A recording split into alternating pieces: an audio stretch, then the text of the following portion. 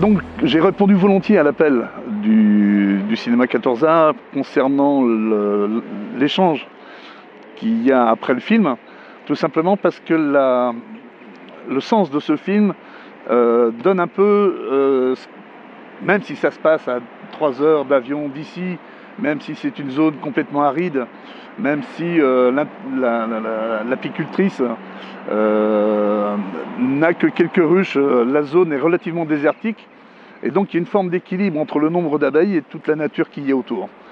bien souvent, et c'est aussi ce que montre le film, c'est que un apiculteur qui vient sur un même terrain apporter énormément de ruches fait qu'il y a un déséquilibre entre le nombre d'abeilles et la nourriture disponible. Et ça, on le retrouve là-bas, bien sûr, dans ce film, mais on le retrouve aussi un petit peu ici. C'est-à-dire que quand il y a des zones qui sont euh, peu riches en, plantes mellifères, avec un nombre d'abeilles important, eh bien, il y a un déséquilibre. Alors pour ça, il y a différentes façons d'essayer de, compenser. Euh, bien sûr, l'idéal serait peut-être d'étaler un petit peu plus les ruches, d'en mettre un petit peu partout plutôt que de les concentrer, ou aussi apporter, et ça il y a un gros travail à faire là-dessus, c'est de planter, de planter euh, des plantes mellifères, euh, un peu comme ici dirons-nous, pour, pour, favoriser le maintien de ces abeilles sur place.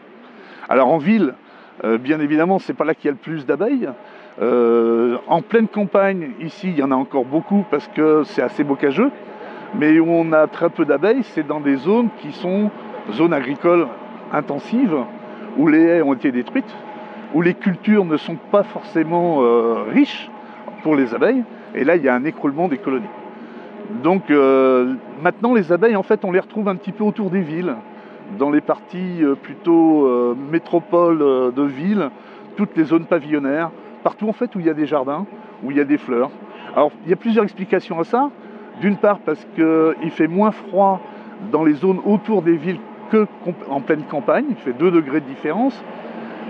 Pour une abeille, ça ne change pas grand-chose, 2 degrés, mais pour les plantes, beaucoup. 2 degrés, c'est énorme. Donc, on voit de plus en plus de plantes, dites même, voire un peu exotiques.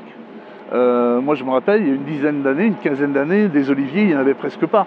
Maintenant, il y en a de plus en plus. Donc on voit bien a euh, une, offre beaucoup plus importante dans les zones autour des villes où les abeilles peuvent butiner. Et c'est là qu'on les retrouve principalement. Je promeux une apiculture dite euh, naturelle. Alors c'est bien large, naturel bien évidemment, mais c'est une apiculture respectueuse des abeilles. Euh, dans, la façon dont je procède en tout cas, c'est que je ne récolte pas le miel sur mes ruches en sortie d'été, je laisse le miel aux abeilles tout l'automne, je laisse le miel aux abeilles tout l'hiver, et au printemps, lorsque j'ouvre la ruche, je vérifie s'il en reste, et s'il en reste, c'est celui-là que je récupère. Il y a des années avec une petite production, on va dire 2 ou 3 kilos, des années, avec un petit peu plus, mais ça n'a rien à voir avec des ruches de production où la moyenne nationale tourne autour de 20 kilos. Mais pour obtenir 20 kilos, eh il y a toute une gestion bien très précise et très, euh, très, euh, très technique quelque part. Moi, je laisse un petit peu les abeilles tranquilles et je m'en occupe pas trop, je les laisse tranquilles. Bien évidemment, la récolte est beaucoup moins importante qu'une apiculture, euh, comment dirais-je, euh, gérée par un apiculteur. Et si on, pouvait, si on devait compter que sur ce type de ruche pour alimenter, euh, non, on ne pourrait pas alimenter le, besoin national. Sachant que déjà on apporte, même dans l'état actuel des choses, plus de 20 000 tonnes de miel par an et c'est énorme. Et du miel de qualité moyenne, voire quelquefois pas de miel du tout dedans. Donc, il y en a un manque. Il faudrait plus d'un million de ruches en France pour réussir, en plus, hein, pour réussir à euh, offrir à tous les consommateurs le miel qu'ils consomment. Donc il y a déjà un déficit, mais avec cette apiculture de loisirs, moi c'est vraiment du loisir, c'est le, bonheur d'avoir des abeilles, c'est euh, le bonheur d'avoir. Voilà, donc euh, non, c'est pas productif du tout. Voir certaines années, dans certaines ruches, je récupère pour ainsi dire rien. C'est-à-dire qu'ils ont eu besoin de ce miel, cette nourriture, ils ont eu besoin de ce miel. Donc effectivement, quand j'arrive euh, et qu'il n'y a plus rien, bah tant pis, c'est pour elles, mais elles sont en bonne santé. C'est-à-dire qu'elles ont consommé leur miel. Voilà. Et non pas des ajouts de sucre ou ce genre de choses. Et dans le film, Atids a quoi Une dizaine de ruches. Euh, quand on la voit faire le marché et vendre ses petits paquets de miel, elle n'a vraiment pas grand-chose de plus. Alors que si euh, l'environnement, son environnement était plus riche en plantes mellifères, parce que c'est pauvre, c'est aride. Dans ce film, on voit bien, elle est déjà en altitude. Euh, le petit village où elle est à 300-400 mètres. Ses ruches sont à peu près à 600 mètres. Et à cette altitude-là, déjà, il n'y a presque plus d'arbres, c'est aride. Donc, il y a aussi cet équilibre entre le nombre d'abeilles à butiner et la nourriture disponible. C'est pour ça que les apiculteurs, eux, mettent leurs ruches à un endroit où, il y a, vraiment de quoi manger pour pouvoir justement. Et à partir du moment où cet équilibre est respecté, ça fait.